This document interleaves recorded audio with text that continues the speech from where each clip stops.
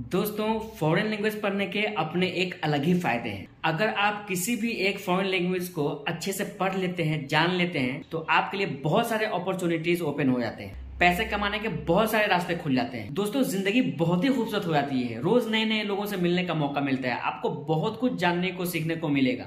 Knowledge का share होता है कल्चर का शेयर होता है लाइफ स्टाइल का शेयर होता है। वो लोग कैसे रहते हैं, वो आपको बताते हैं। आप कैसे रहते हो, आप उनको बताते हैं। तो मतलब बहुत कुछ सीखने को और सिखाने को मिलता है। बहुत ही इंटरेस्टिंग मोमेंट होता है दोस्तों, जब बाहर से कोई लोग आते हैं और आपसे बातें करते हैं, आपसे मिलते हैं और आपसे बहुत सारे कुछ शेयर करते हैं। तो ऐसे ही आज हमारे एक एक नहीं बल्कि दो गेस्ट आए हैं। एक है यूएसए से और दूसरे हैं मेक्सिको से। तो आज हम लोग बेसिकली उनका ही वेट कर रहे हैं। थोड़ी ही देरों में वो लोग यहाँ पे पहुँचने वाले हैं। तो चलिए, हम आज आप लोगों को उनसे मिलाएँगे। इस वीडियो के माध्यम से आप लोगों को थोड़ा बहुत कुछ बताने की कोशिश करते हैं।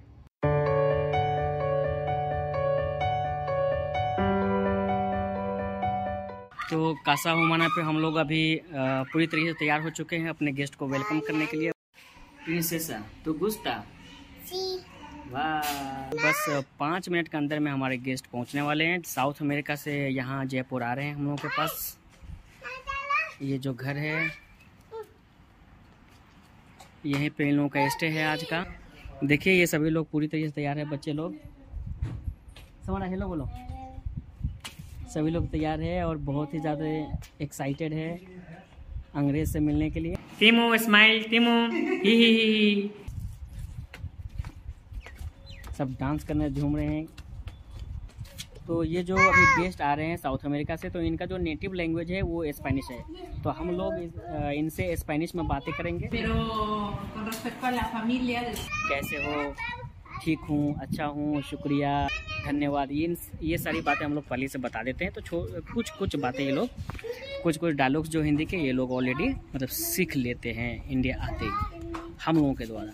तो मैं इन लोगों का स्वागत करूँगा वेलकम करूँगा माला पहना करके।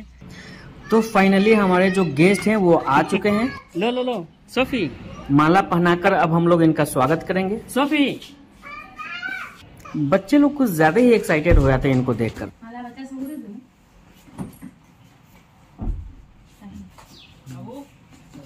जाओ तिमू जाओ। नमस्ते। नमस्ते। जाओ तिमू जाओ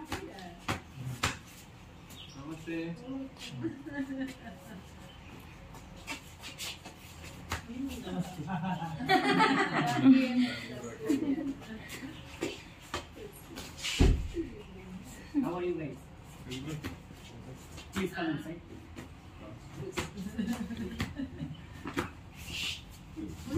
Come.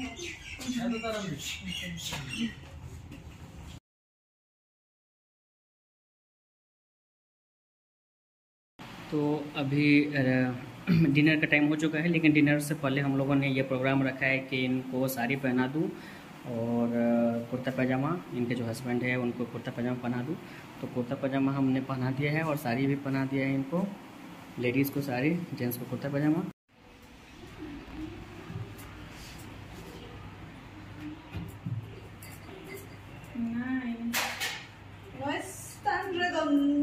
No, don't worry. You have to make it round. That's all. No problem. Okay. You are doing first time, so it happens. It's not a big problem. और अभी मेहंदी लगाने का काम हो रहा है तो चलिए मैं आपको दिखाता हूँ कि मेहंदी कैसे लगाते हैं और कितना एंजॉय कर रहे हैं ये लोग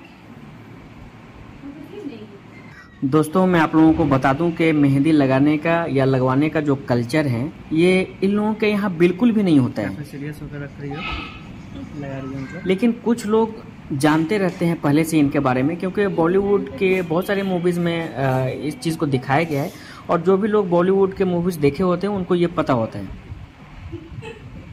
Say something in Spanish in your language भाई दी ये जो महिला है वो मेक्सिको की है और काफ़ी शर्मीली है दोस्तों। बिल्कुल हमारे भारतीय महिला की जैसी। ऐसा लगता है मानो हमारे देश भारत में आकर इनके संस्कार भी भारत जैसे हो गए।